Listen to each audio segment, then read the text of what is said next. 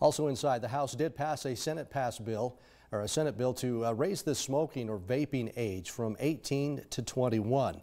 Overall, the bill brings state law in line with federal law that raised the age to 21 more than two years ago. Supporters say it clears up any possible confusion, while opponents say it is unnecessary because the federal law actually trumps state law. The bill now goes to Governor Brad Little.